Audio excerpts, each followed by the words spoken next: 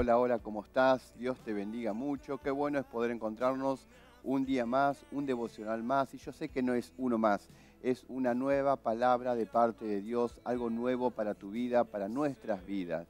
¿sí? Yo no sé qué te trajo hoy el estar aquí conectado a través de este medio o que estás esperando por ahí escuchar a través de este devocional, pero yo te aseguro algo, que hoy Dios va a hablar a tu corazón, hoy Dios va a guiarte, hoy Dios va a hacer algo en tu vida. Por algo estás acá, por algo estás escuchando. Así que prepárate, abrí tu mente, abrí tu corazón para lo que Dios tiene en tu vida. Así que bueno, vamos ahora a compartir un pensamiento después de este breve tiempo de adoración.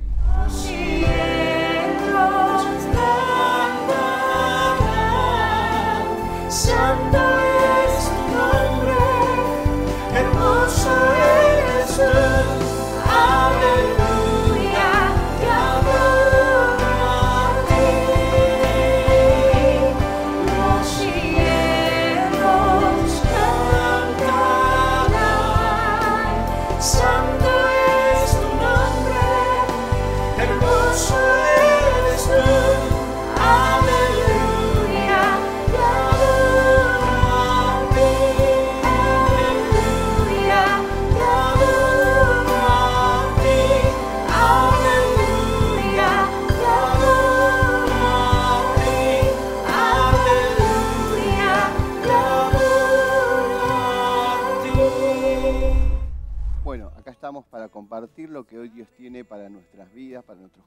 para tu vida. Así que quiero que allí eh, abras tu Biblia, si tenés allí a mano, o escuches atentamente la palabra de Dios para este día. Dice allí en el libro de Proverbios capítulo 17, versículo 22. Dice, no hay mejor medicina que tener pensamientos alegres, sino todo el cuerpo se enferma. ¿sí? Quiero hablarte en este día sobre tener una actitud positiva, ser una persona de ser, positivo, de tener actitudes buenas, pensamientos buenos. Y te comienzo con una ilustración. ¿sí? Este, es una empresa, una fábrica de zapatos que envía a un vendedor a una isla. Seguramente ya lo habrás escuchado, pero quiero que prestes atención y que a veces estas historias, estas ilustraciones nos ayudan mucho a que podamos entender la palabra. ¿no? Bueno, este empresario envía a uno de sus vendedores a una isla a ver allí que, haya, que haga un, un paneo de mercado, a ver cómo están las cosas para vender y presentar el nuevo producto que ellos tienen. Entonces llegan a ese lugar, llega este vendedor y ni bien pisa el suelo, ve allí una multitud de gente y los ve a todos descalzos. Entonces inmediatamente llama por teléfono al- al- a su jefe y le dice, mira, ya me estoy volviendo porque acá usan todos, eh, no usan zapatos, están todos descalzos y veo que voy a fracasar en mi negocio. Así que vuelve a tomar su maleta, sube al avión y se vuelve.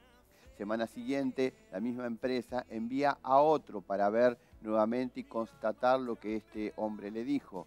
Cuando llega ese nuevo vendedor, baja y ve esa gran multitud de gente donde estaban todos allí descalzos, nadie tenía un, zapato.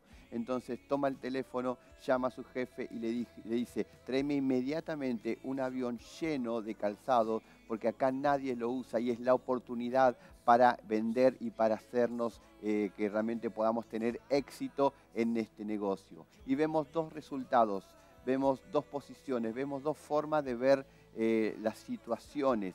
Uno vio lo, lo negativo y dijo esto no va. Otro vio tal vez una situación negativa, pero lo transformó en positivo y eh, supo que allí iba a tener éxito. ¿Cuál fue la diferencia? La actitud de, estas personas. ¿sí? Entonces, qué importante es tener ese pensamiento positivo, de ver lo bueno de todo, de sacar lo bueno de cada situación. Mira, en el libro de Proverbios 24 días dice, si fueres flojo en el día de trabajo, tus fuerzas serán reducidas.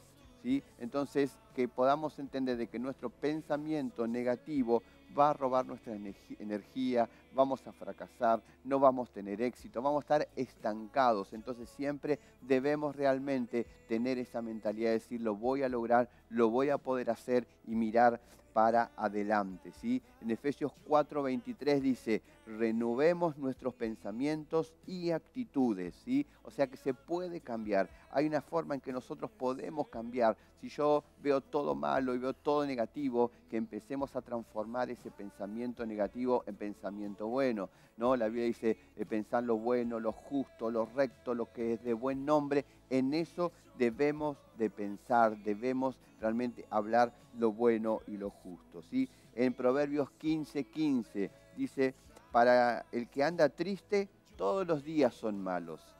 Para el que anda feliz, todos los días son alegres. Entonces nosotros tomamos la decisión de cómo vamos a estar, felices o alegres, ¿sí? Que podamos realmente ver y transformar los ambientes, sacar de esa situación negativa, transformarlo a positivo. Y si es algo positivo, mejor aún, si eso nos da fortalece, nos anima a seguir adelante, seguir avanzando, teniendo más éxito. Siempre debemos ir a más, siempre debemos realmente cambiar y renovar nuestras mentes. ¿sí? Debemos alejarnos del conformismo. En Lucas 17:10 dice, no tenemos que considerar a veces siervos inútiles porque a veces hacemos siempre las mismas cosas, siempre estamos haciendo lo mismo. Debemos realmente haber en nosotros cambio, renovar siempre algo diferente que pueda darnos esa vida, ese renuevo en nuestras vidas. ¿sí?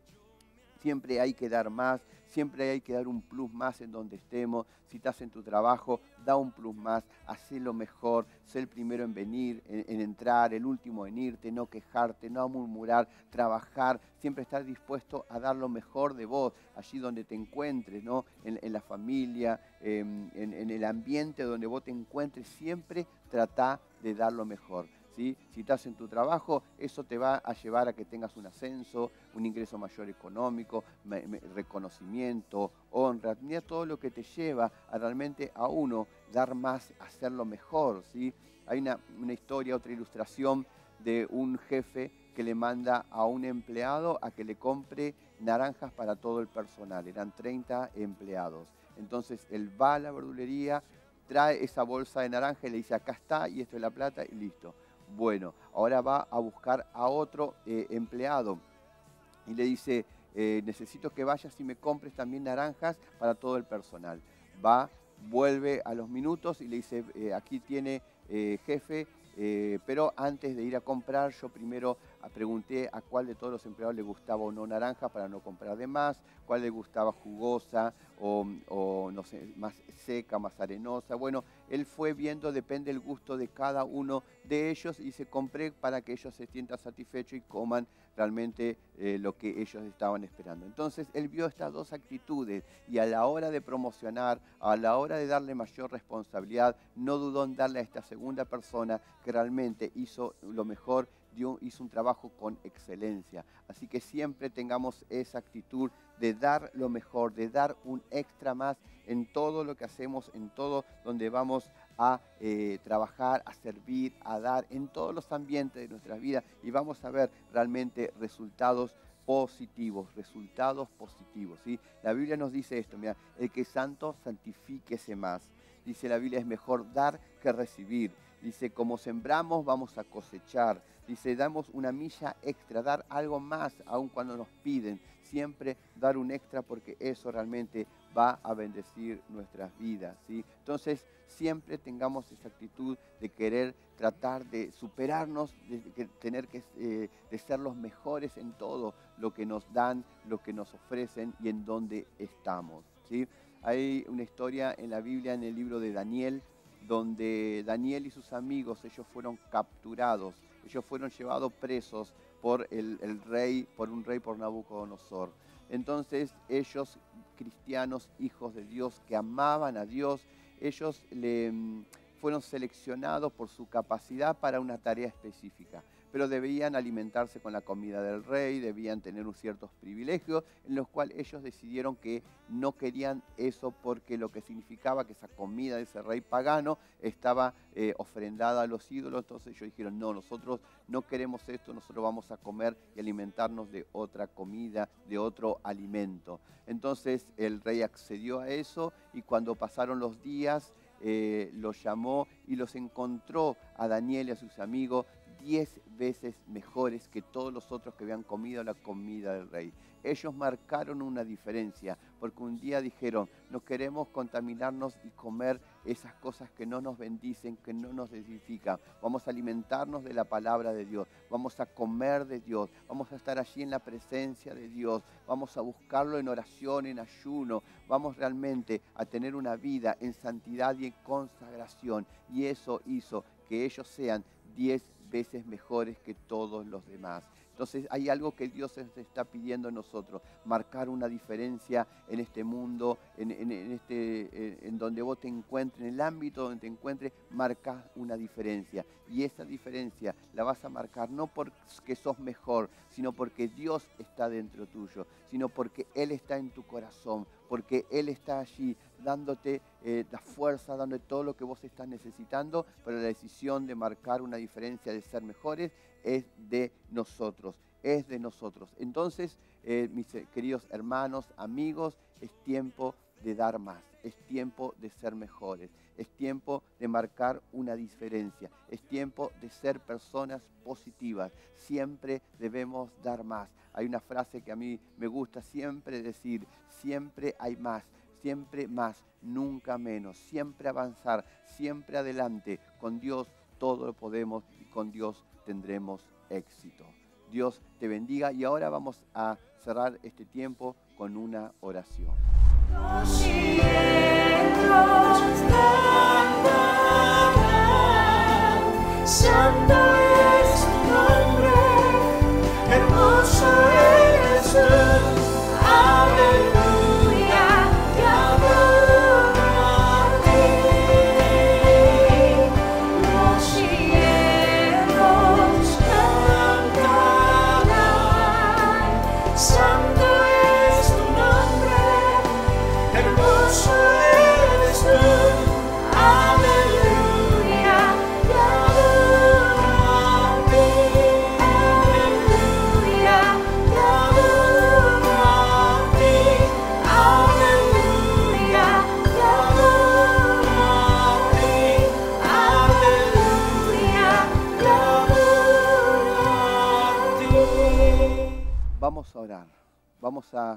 Realmente a inclinarnos y humillarnos delante de Dios. Yo sé que Dios tiene grandes cosas para cada uno de nosotros. Dios quiere hacer algo poderoso en tu vida. Dios quiere usarte, Dios quiere bendecirte, Dios quiere sacarte de ese lugar, de ese pozo que tal vez hoy estás metido. Pero eso va a depender mucho de, no- de nosotros, va a depender de mí, va a depender de vos, de decir quiero salir de esto. Y eso se sale teniendo ese pensamientos positivos, diciendo sí lo voy a lograr, sí voy a salir, aún a pesar de luchas, aún a pesar de dificultades, aún pesar, a pesar de que no vea el horizonte, no vea la salida, pero voy a confiar en Dios, voy a depender de Dios, voy a ponerme en sus manos, voy a tener esos pensamientos de bien, voy a mirar y ver todas las cosas, o como la palabra de Dios me dice que mire, poniendo mi mirada en Jesús. Por eso, Padre amado, en este día, en este tiempo, quiero pedirte que empecemos a ser transformados, renovados nuestras mentes. El Dios de este mundo, el diablo, quiere enseguecernos, quiere tapar nuestras mentes, quiere tapar nuestros pensamientos para que pensemos y veamos lo malo y no miremos a Jesús, no miremos los beneficios de seguir a Jesús. Pero es tiempo donde yo voy a decir, voy a salir adelante, voy a mirar, voy a tener una actitud positiva, voy a ver lo bueno en todo, voy a rescatar lo bueno de cualquier situación, porque Dios me quiere usar, porque Dios quiere algo para mí y yo estoy dispuesto. Y yo les voy a decir en, esta, en este día, le voy a decir Jesús, aquí estoy, aquí estoy, aquí estoy, usame, hablame, tocame, llename. Dios mío, aquí estoy eh, dispuesto a estar y a ponerme en tus manos, porque sé y creo que Dios, que el Espíritu Santo va a estar conmigo hasta los fin del- de los tiempos. No me va a dejar, porque yo he tomado una decisión de seguirlo, de mirarlo y de estar con Él en todo tiempo y en todo momento. Pablo decía, yo he aprendido a contentarme, cualquiera sea mi situación, abundancia o escasez, en cualquier situación, siempre mirar a Jesús y tener ese pensamiento de que vamos a salir adelante, porque Él está conmigo, Él está conmigo. Gracias Señor, gracias Señor en este día, gracias por tu palabra y vamos adelante en el nombre de Jesús. Amén, amén y amén. Dios te bendiga mucho, mi hermano, mi hermana, y que realmente siempre pongamos nuestra mirada en Jesús y todos, todo nos va a ir bien. Gracias, gracias Señor, gracias mi Señor.